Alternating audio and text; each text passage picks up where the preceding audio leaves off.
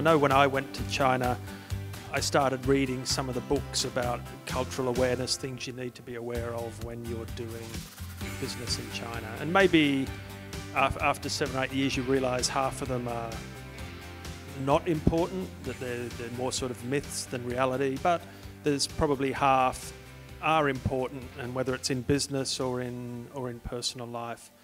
Um, so I'd say yes, it is important. Uh, it doesn't matter if you don't know them all, but at least if you have some sensitivity and awareness to the cultural differences, that will be uh, that will be respected.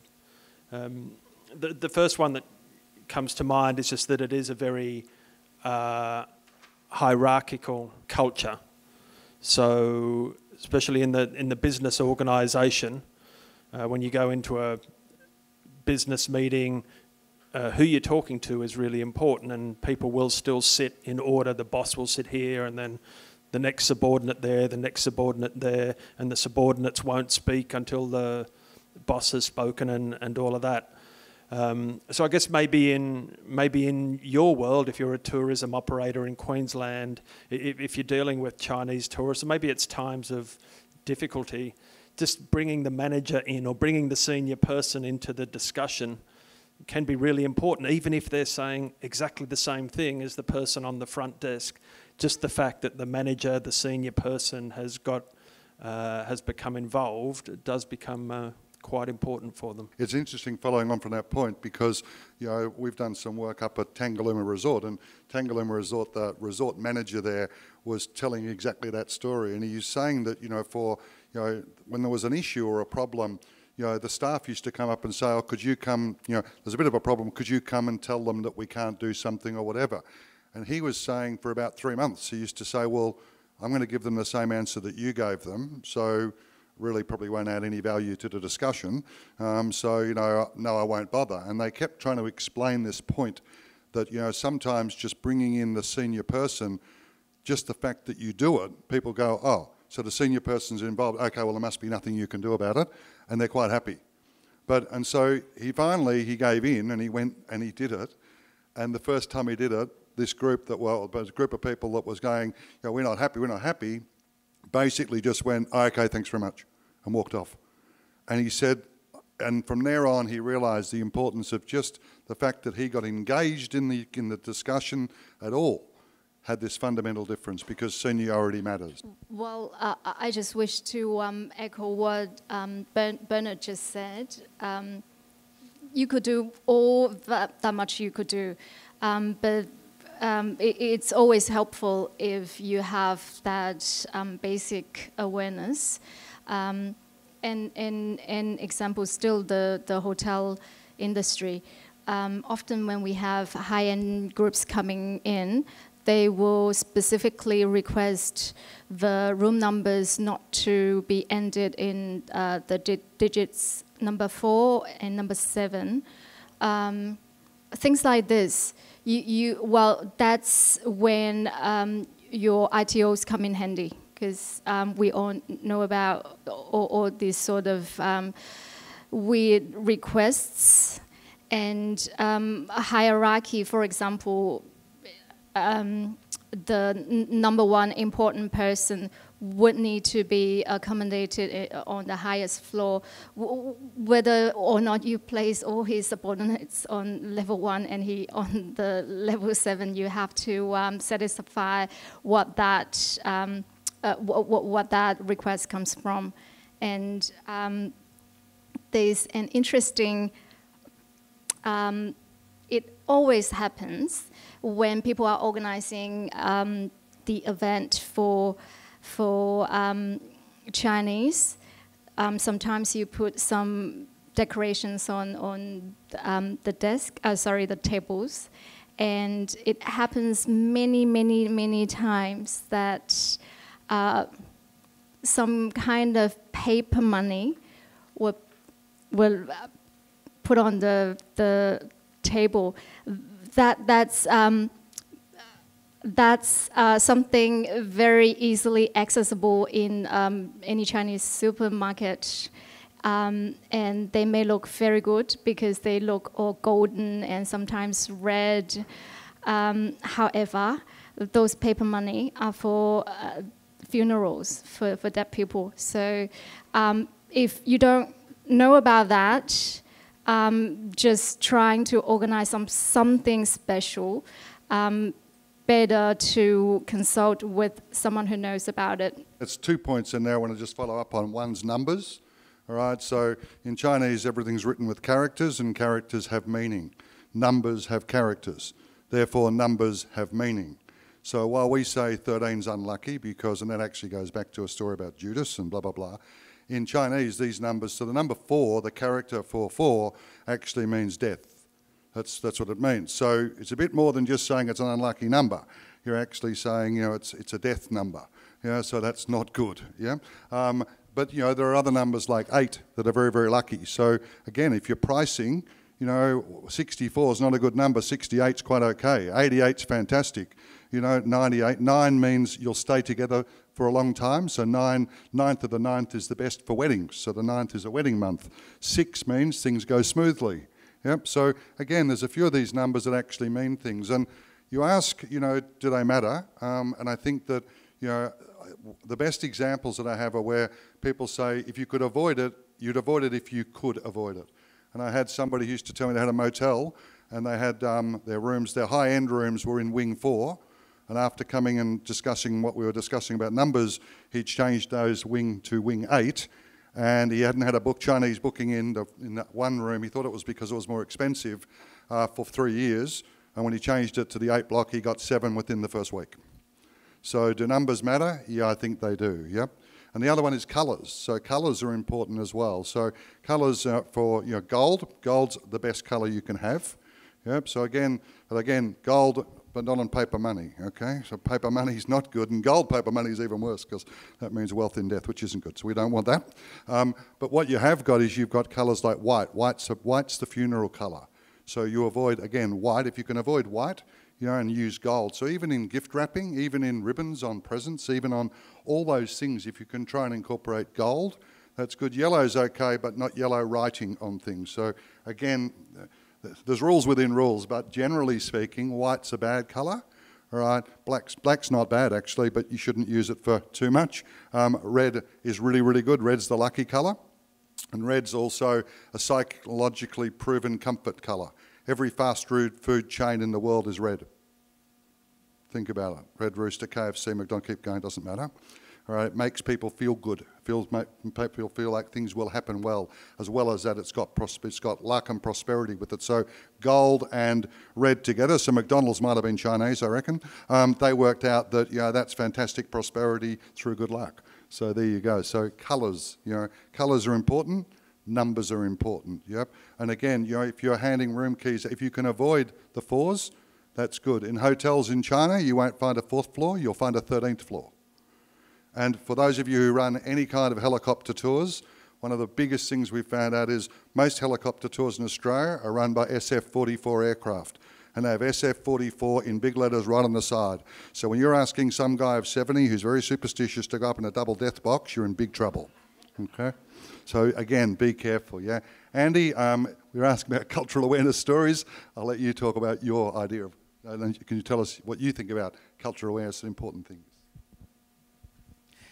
Um, very interesting stories. I think in terms of a cultural awareness, is that uh, the Chinese, and very often that when you speak to them, um, and that some of the icebreakers, people ask me, you know, what are the good icebreakers?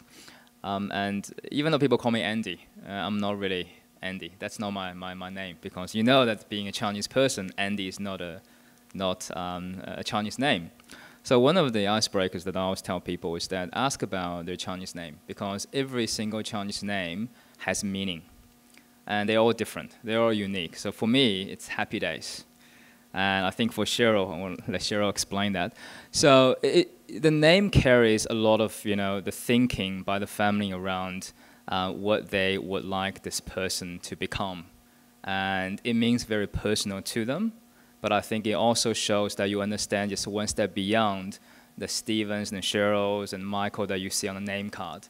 Uh, so that's something that I would suggest that if you really want to establish some kind of good friendship and a relationship, you can ask about the name, and I think that's you probably will know more about the person than uh, than just reading the name card.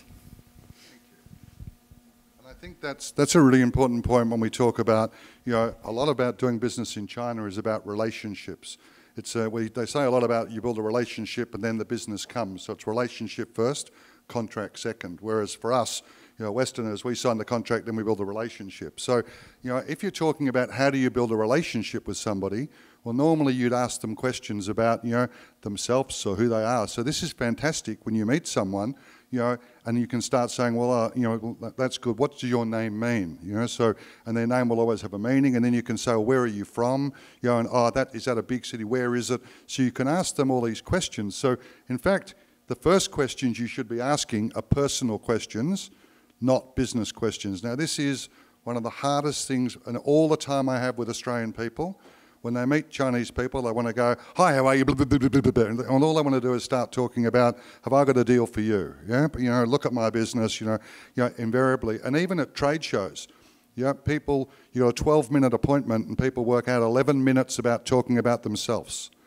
And my comment is, if you, you know, if you're an RSVP and went on a date, and on the first night on that first date, everyone spoke about me, me, me, me, me, me, I, I, I, you probably wouldn't want a second date with them because you'd say, well, you're all about you, you're not about the relationship. Yep. And so these ideas, they're great icebreakers. These ideas of being able to ask them where are they from, you know, because again, they take great pride in where they're from, you know, and their name. So my name is Li Jie which means man of substance, which I used to be much bigger and I was sure meant fat bugger, but it doesn't um, because it actually means solid wood. So I used some people, and again, the meaning was solid wood, which means that you, you've got strong presence. So, you know, there's always a meaning behind it, and invariably, too, that meaning will give you some indication to the personality of the person.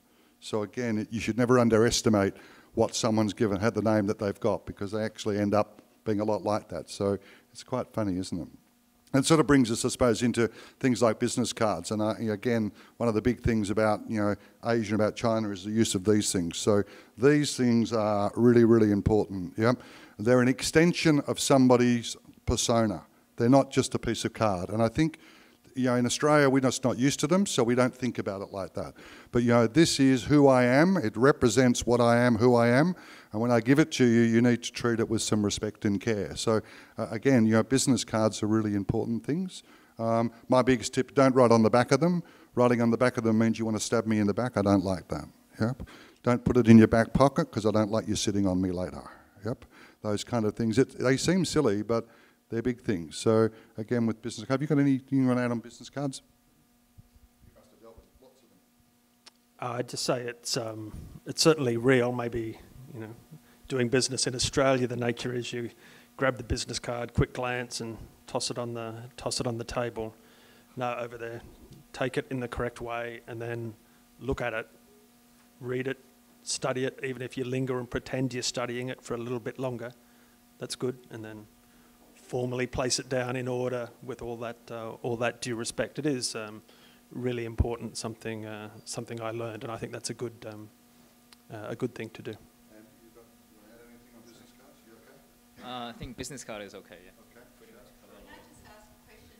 In terms of when you meet somebody, yep. Uh, what's the protocol about women shaking hands okay. Okay, we're, we're touching on one second. I want to show you what you do with cards as well, all right?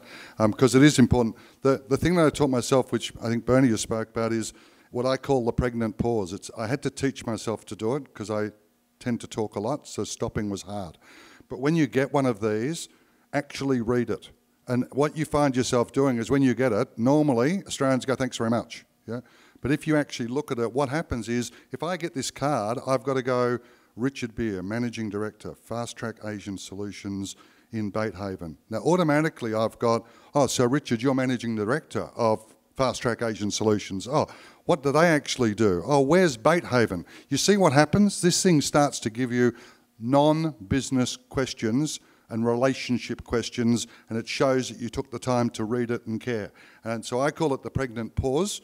I think it's something that we have to learn, you know, when we're dealing with Asian. And you get that card if you take the time to read it, you have to stop. And that small stop time is the time that actually you're showing respect to the person that you got the card from. And so when you get the card, if you watch other people, the Chinese people, they'll do the same. When they get it, you know, you're still you're normally trying to talk while they're still trying to read. So yeah. So do you want to try? I'm going to try and do. Every time I do this, people don't know whether to shake hands first, add a business card first, do anything first. So I'll try and do it with Andy. This hasn't been rehearsed, so I hope it works. I'll, I'll, um, I'll jump in in the business card. Um, when you go over to China to do some sales calls, and that we know China is the most densely populated country. You go in a, a office building, there may be hundreds or thousands of people there, um, and you may meet uh, 10 people or 20 people at one time. If there's someone um, that you've seen and they didn't give you business cards, that does not necessarily mean that they're way too junior and their company didn't print them business cards. They may be um, that that whole department's um, head of that whole department or, or the head of the whole company. It, it, it varies. Yes, some may be very junior staff, but um, um, there may be some much higher ranked people amongst them, and they normally um, wouldn't give you their business card uh, in the first first time you met. Some of them may be quite senior, but they're not telling you. So that's the other thing. Do you want to try, Andy? You want to try this? We'll see whether we can do it. So normally, if you're going to just meet somebody, right? You walk up, you just go, "Hi, Andy, how are you?" Yep. So you'd actually do it. Then you'd actually present your business card. Yep. Right, and then he'll normally give you one back if I'm lucky. But have you got one? No. Um, I No. Yeah, Okay. So normally, you know, what people find really hard it didn't work the way I meant to. But it's all right. But normally, I'll give you one of mine. Yeah, I'll give you one. I'll give you one of mine instead. So you give me one back. So anyway, what what people find really hard is whenever we do this, they're like, oh, what do I do first? And the answer is you're still building a relationship. So it's like it's always hi, how are you? Then you stop. Then you give them the formality of the card, all right? And then they'll give you one back, all right? And then that's when you actually have this the pregnant pause while we're both reading, and then you go, oh, thank you very much. So if you're moving down the line, you just move to the next person. If you want to, oh, so Andy, you're, so that's when you start. So it's you still, it's got to be natural. Hi, how are you? Still, you know, relationship. Swap the card, have a look, show respect, understand, start the relationship. That's how it works. Yeah. So does that help? Now, women, women still. Sorry, I better have one of those. Listen. In, in terms of women, it's not like Japan, etc., where there's sort of a difference. You know, the bo- if the boss is a woman, the boss is a woman. So, you know, it's basically the oldest person seniority is still going to be the most senior person. So they get treated with exactly the same way. So if you're meeting, coming in and meeting someone, you do exactly the same. The only difference is a woman, Chinese woman back the way, can give me a half handshake, not a full handshake, and that's doesn't that's actually quite acceptable. So that's the only difference. But the only thing is also, you know, Australian people, Australian men try and be macho and break bones. Just be a bit more, you know, you don't try and break people's hands, right? You can just hold them and say great. But so from a handshake point of view, everybody can handshake. Every, that's the common way of greeting. I, is that right or? Yeah, I- I'm not sure what the true rules are, but my experience was I had no issues with handshaking men or women. But what about In a woman meeting a delegation, say, of men, Chinese men? There's no, there's no, No. There's no, unlike some of the other Asian cultures, Yes. where you actually say, you know, men, you know, women and men, they don't have that. So it doesn't Hmm. work like that in China. I, I certainly had no like rejection. I, I don't think I remember seeing too many Chinese women shaking hands with each other, but that's okay. When it comes to especially a Westerner, I think they expect that because that's just the way we do, and that's that's okay. No, so I just get the hand out there and off you off you go. There's certainly, you know, there's an area also this issue about privacy. So, you know, because there's so many people in China, personal space is quite small, but private space is really important. So you don't come up and start hugging and how you're going, and you don't do that. You don't come into my inner sanctum until someone invites you in. So the idea of the whole, you know, how you're going and the hugs and all those kind of things. The idea is no, just stick with the handshake because the handshake actually moves your point forward. It moves your personal space forward to shake, and then you come back to take the card. So you're actually just meeting and coming out. You're not coming into my private space. So again, the private space is very important. When you become good friends with people, when you really know your relationship's good, they'll actually ask you to do that. So they might then let you. You know, like I can meet Cheryl now, and I can go hi and hold, shake her hand and, and tap her on the shoulder. That's, I think it's still, that's okay. it? It's sort of acceptable. The first time I um, really give him a big punch when he did. Yep. I just want to support um, what you guys have just talked about. Um, actually, the Chinese government encouraged the equality uh, of the both, both of the sexes. Um, uh, women, after marriage, you have to keep your maiden names. Not, you're not, you're not to um, take up your husband's um, surname. So, uh, and, and it's very common to handshake. That is the only way I would say that is the only way recommended, not the, the hug, the, the kiss, they will, that's not very common anyway. And so I suppose the other one that we've heard a lot about today is face, so Chinese face, and everybody talks about, you know, Chi- sorry, Sandra, sorry, yep. Can I just go back on Yep, yep, go on. the business card for a quick second? Yep. You had a Chinese name. Yes. So when do you earn the right to put your Chinese name on the um, business card? By having a good translator. You can do it straight away. Yep, I mean, my name is, you know, so the difference is translation should never be about words, they should be about meaning, and that's another issue that you've got to understand. So, you know, it's, my name's Richard Beere, my Chinese name is Lee, so B and Lee, Beere and Lee, they don't, it's not a translation, it sounds reasonably close, but the two other names that they gave, the two other names made up who I am. So the Li Jie Shi. So I asked someone to give, I asked people in China to give me a name, and they said, based on who you are and your persona and what we know about you, we would recommend, we, would, we think this is, would tell people about you. So it's a name that actually reflects who I am as a, as a person and personality. So you can go and get it, but don't make the mistake of trying to say, I want something that sounds like my name, because you may end up with a meaning that says you're a ratbag, you know? So. No, as long as you've got a few people around who can help, Cheryl could help give you a good name, Sandra. I'm sure. Oh, no, I think it's Like, like, a- well, no, sorry, we could, we could both work out a name for you, whether it's a good name. It'd be a change from Sandra. Yeah, I'd say go in straight away. So when I arrived in China, the, the marketing communications lady gave me a name because it has to go on your business card straight away. Um, so Bernard Hughes, she translated as, as excuse my tones, but as uh, Xiao Bona, which I think is the um, translation of George Bernard Shaw, the author. So just a respected author. They sort of sounded a bit the same, plus was a respected name. But uh, then when I used it in front of my team, uh, my pronunciation wasn't so good, and it was making it sound like something else that didn't have um, such good connotations. It wasn't bad, but it just wasn't good.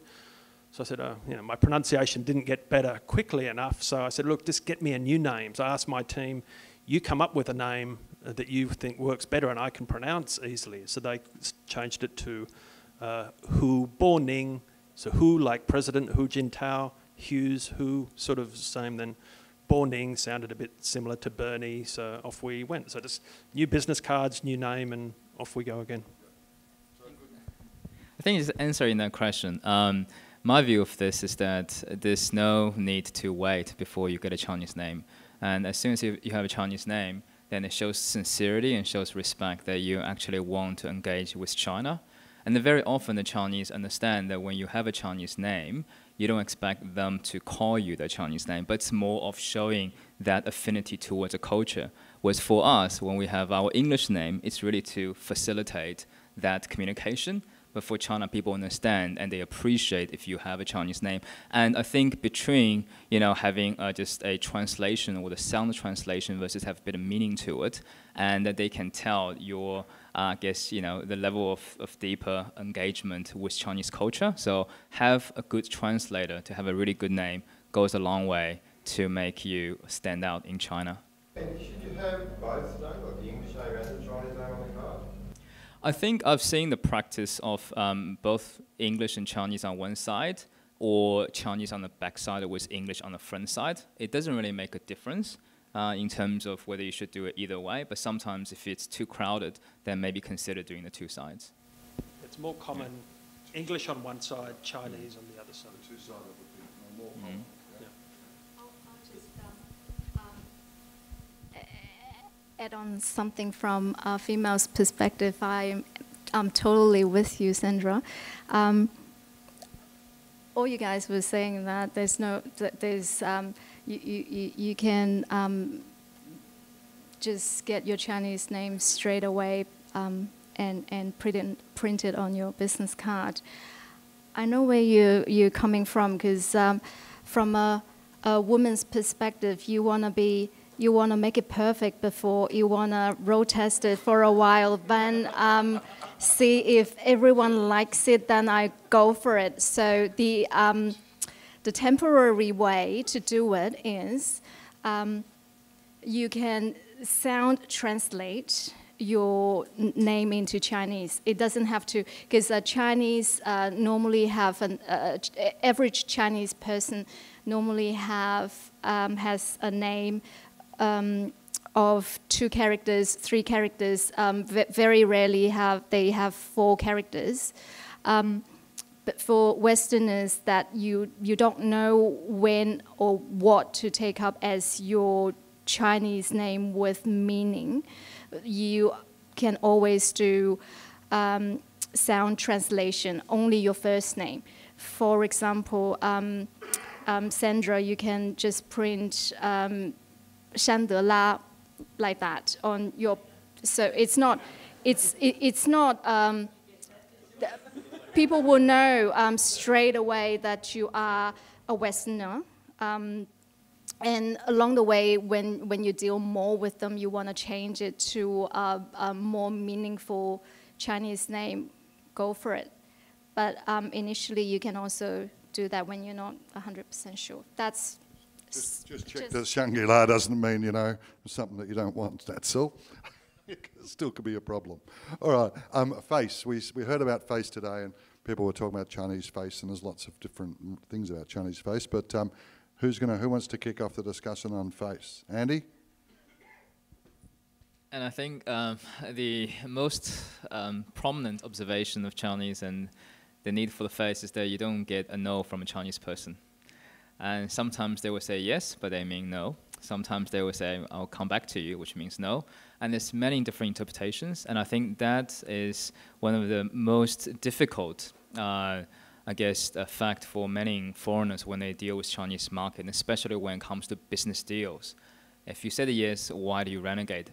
But very often that they will do that when they feel not comfortable to give you the answer. And if you push forward, they will say yes. It's never being offered in the first first goal. So if you can sense that they're thinking through or they couldn't get you an answer right away, and best not to push it because if you push it, you get into uh, an area of potential miscommunication in the future. So. We, we talk about things, closed questions. Closed questions put people on the spot, you know. Did you have a nice time? If you didn't, there's nowhere to go. Yeah, black and white. Yeah, black and white's not good. So you should, the three things that we talk about to, you know, avoid people losing face is to avoid conflict, avoid dispute, and avoid embarrassment. Avoid conflict, avoid dispute, and avoid embarrassment. And if you think open questions, will never lead you. Black and white leaves somebody nowhere to go if they want the black or white. You know, you got to get in the middle. So there's a grey zone. You know, so I think one of the things that we're very good at, we're very direct. We believe that if we ask direct and move directly through, we'll get to the answer. Chinese people want to go around it. They want to go around. They don't like confrontation. Right? Confrontation causes embarrassment or dispute for somebody, whether it's you or whether it's the other person. So I think sort of the, the three rules for me are if you think about you know, wow, is what I'm about to do, could I put someone on the spot here?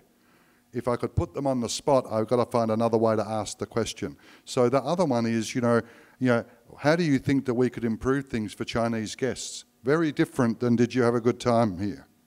You see what happens. You start to move the questions. You reframe. You reframe things. And a lot of time, what they're not actually saying yes or no. They're actually reframing what they're trying to tell you. So you have to ask questions back. So questions are good things. Sorry. Yes, over there. Um, in relation to face um, dining Chinese, um, I had experience uh, over in China where the Western culture is to eat what's in front of you. Um, and that is uh, a way of what I believe was being polite, but we were informed that uh, the Chinese want you to actually leave something on the plate because they feel as if uh, um, they haven't fed you enough. So there was this, this uh, um, toing and frying, and we would continue to eat and they would continue to order. Yeah, yeah. Yeah. yeah the, the worst, the, the worst one, Normally, normally you can get out of that one, but the worst one is, and most people's folly is, you've gone through to 12 courses of stuff that you didn't really like and you weren't sure of, so you haven't eaten a lot, and then they give you the bowl of rice at the end, and you finish the bowl of rice at the end. Now, the bowl of rice at the end is in case your host hasn't managed to satisfy you with all the delicacies that they've actually given you. So when you go, thank Christ, there's something I can eat, and go, ooh, and eat the whole lot, that actually means, wow, you haven't satisfied me. So your host is in a lot of trouble. You can expect a few more meals coming down the line. But um, anybody else got anything to say on that one? So it's not, it's, yep, you got a few, everybody's got these stories. Maybe just, just on face, the thing that I think is relevant for me is face in a negotiation. Um, so I found whether it's personal in the shops or whatever, or in business. The Chinese love a good, drawn out negotiation process. I was a rubbish, shy, non negotiator before I went to China. Now I'm a hardened negotiator, and whether I'm at Woolies or Freedom Furniture, I don't care. I'm going to ask for a better deal. Um, so I think there's a lot about, you know, maybe if it's in your business, if you're negotiating a price or a volume or whatever, just being prepared to do that, give a little, take a little, give something in terms of face in the negotiation, be prepared for a bit of a drawn out negotiation game, play the game a little, so start at a point where you know you can give a little and come down. Again, it's about relationships. It's not about getting the best price. It's about compromise. So you know, when people start dating, you know, men, you know, men start liking romantic movies and women start liking sport. That's what happens you know, down the, as the engagement happens and as you compromise. So this is the same thing. It's about that. It's the art of relationship building. You know, it's not so much about screwing you on price. It's building a relationship. So that's what you're looking for. And I think it's about respect. You know, at the end of the day, it's about respect for others, respect for society, respect for elders, and respect for self. And never ever respect. Don't forget respect for self, because you've actually still got to save your face as well in all of this. You don't give away the farm you know, just to try and give them face, because in fact you'll end up losing it. So face, it's a very interesting, wonderful thing. Um, top tip, cultural awareness top tip, have you, have you got one? The importance of food in conversation. So when, when we meet up in Australia, we talk about the weather. We say, G'day, how you going? Nice day, isn't it? Oh yeah, but it's meant to change tomorrow or, you know, blah, blah, blah. They think that's really weird. How can you spend so much time talking about the weather? It's like, uh, but I think the Chinese equivalent is, or my experience is, you meet, you start talking about food. So a standard greeting is um, Ni chi le ma, like have you eaten yet? And then off, off you go from there. So just the importance of food uh, in conversation and culture, uh, rather than thinking that they're going to want to be interested in talking about the weather for, for five minutes. Just on that about food, I'm just wondering when um, you know, Chinese visitors come to Australia, um, there's always, and it's probably a myth, you know, that they need to eat Chinese food, you know, breakfast, lunch, and dinner. What is the protocol with that? What, how has that changed now with, you know, becoming more modern but not necessarily more Western? I think, I mean, when we talk about a lot of the work we do in service delivery for food is about, you know, if you think of Chinese people, everything goes in the middle right? And you've got shared plates. Now, if you think about that, that means that number one, if I take something I don't like it, it's not sitting on my plate and I'm not embarrassed, so I don't lose face, right? If somebody, the leader really likes one of the dishes, they can have more of it and we can hold back, right? Because we want to let the leader or the senior person give them face. So a lot of food's about face. So my one is, you know, would you like the myrtle infused herb crusted lamb, sir? Well, what is it? What does it taste like? How do I know what it's like? And do I want to pay 35 bucks for a plate of it that I might not like that sits in front of me that everybody then knows I ordered the wrong thing? So we don't make it easy to engage with food because we don't we serve it in singular plates which leaves no option for people if they don't like it. So my deal is shared platters, put things in the middle, right? Change the service delivery. They want to experience and sample Australian cuisine, but you leave them an alternative that could lead very big to loss of face and that therefore means that it's very hard to engage. And I used this last night at dinner. Um, so who likes Chinese food in this room? Who likes Chinese food? Who likes yum cha? Right, would you like wulgok or meegok for dinner? No idea. You'll order the fried rice or you'll go somewhere else. That's three. That's four different types of dumplings. You've got no idea what I just said. But if I put, said I'm going to have four lots of dumplings and put them down, knock yourself out. The next time you're going to say I'm going to be smart. Next time when I go to the next restaurant, I'm going to be able to order hum gok because I know what it's like. Yeah, because you were able. So give people the choice to try, and they will buy. Give them the choice, the options to engage. They engage. So I think that the idea with food a lot, I think, is about the way it's served. It just leaves people. It's very difficult and in fact, if you run a restaurant, what you'll actually see in a lot of cases, eight Chinese people sitting at a table, they order eight different dishes, they get them and they chop it all up, then they put it back in the middle and they ask for eight new plates. So they actually do it themselves. And that and then means extra staff, extra time, extra problem, extra cost for the restaurant, and it actually throws everybody's service out. So it's it, again, this is about understand, just thinking about, you know, the way in which they can engage with things and doing. And I think think the other way all the time. I mean, if you go into the Japanese restaurant and there's 27, we were at dinner last night, there were five types of fish on the menu. And I said, well, what's the, what is it? What's a parrotfish taste like? What's the difference? And, you know, you try and get answers about what, this is a Hervey Bay scallop. Oh, that's not a scallop then. If it's not a scallop, oh, it is a scallop, but it, why is it different? Oh, because it tastes like different. Is it a scallop still? Yeah. Just think about, we use all these terms. Chardonnay, would you like a Chardonnay or would you like a, you know, a Pinot Gris? Well, I'm not sure, sure. I'm on white and red at the moment, you know. Um, what does it taste like? What's the difference? You need to explain. I, I think that's the big issue for food. Sorry. I've got a, I've got a tip. Um, one of my favorite topic is drinking uh, with the Chinese. If you are familiar with drinking with Chinese, you probably will uh, have a few experience with this whole bottom up, that kind of culture. And uh, to a lot of Australians, they struggle, especially when you have a big glass of wine. How do you actually bottom up? And I think the, the tip, uh, the tips I will give you is that well, um, you don't have to fill it up. You know, I think it's more important to drink a small portion in. And put this way, it's more important to have a small amount of the wine in your glass and drink all of it than have a, quite a big glass and drinking just like the, you know the one third of it. That's the first thing. And the second thing is that when you do this kind of like you know toast, uh, normally the the guest uh, or the host will raise a toast with you. You do a bit of a small like a, a, a portion in your glass, bottom up, and then you do a reciprocal toast to him or her. And then once you do that, the remaining toast are not as important as the first few. So it's really about how do you get to the point where you pay the, you give the face of the host, at the same time not get completely drunk and wasted, at, you know, for the night.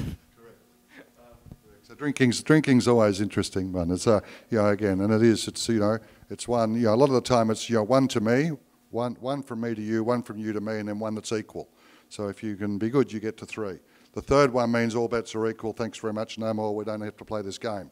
So you know, three three means we've gone through the challenge. So, so it's good. Sometimes, sometimes, but you've so look. Sometimes you won't get the option. But the other thing is, if look, if you're out with a, if there's four or five of you, I'm going to tell you the easiest thing in the world. Right? They will send someone into bat, and you've got to work who's going into bat for you. Because if you're senior, you can send in someone down the line as a front batter yeah, and, and they can get knocked for six. It's quite acceptable. It's quite acceptable say, he's the heavy hitter, thanks very much. I'm, I'm in charge, I'm not doing that, right? And you actually pull back, but you watch what they do because I guarantee you, if you watch their side of the table, one of their guys will be the guy that's hitting up all of you hard and fast before the senior guy gets near you. And that's all about winning. So play the same game back. That's my deal, right? Given with um, face, uh, the that we are targeting the younger generation for our future tourism uh, visitors. Do you think there's going to be a slight relaxation um, over time with regard to a lot of that? Like when they come over here, will they be expecting as much? And we speak about food and how important it is. We've been advised that um, as much as we'd love to give them a barbecue every morning, they probably prefer fresh fruit or something that they don't um, like a white bowl of cereal or something like that. So do you think, do you perceive that that will change into the future? When you go to France, you don't eat French food gastronomic meals, five courses, three times a day for 20 days. You don't do it, right? So there's a, there's a normality to stuff. I want breakfast to get up and get some nourishment. I want something at lunch, and then at dinner I'll have three or four courses, and we'll sit around and have a good time and chat. That's exactly the same. So, you know, uh, when we say, oh, they don't like Western meal, no, you know, when you go, you probably wanted some Vegemite and you want to probably want a bit of toast one morning. Well, they probably want something that's, you know, about, you know, a bit of noodles one day. So it's, it's about, I think it's about balance and I think it's about understanding that there needs to be balance. It won't all be Western and it certainly won't be all Chinese. There's no, you don't need to be all Chinese meals, but you need to have a way of engaging people in how to eat. Uh, and that, I, I reckon that even with the younger people, the biggest issue still is this idea of, you know, one plate for you, one dish for you, one plate, blah, blah, blah. I think it's a, I think it's a real challenge for people to be able to do what they have to do in societal norms and values. Yeah, so mix it up. So uh, not only the cuisines, but then when serving Western meals, give the option of a sharing plate that goes in the middle. So Australian guy opened a restaurant in Shanghai called Mr. Willis. It's all Western food. It's steaks, it's roast chickens, it's whatever. But you have the option. You have it served as an individual meal or serve the steak as a sharing plate in the middle where it's cut up and everyone can can have a piece. So that's just a nice balance uh, that's in between. Seafood is signs prosperity and wealth. So fish and seafood are really good, not just meat.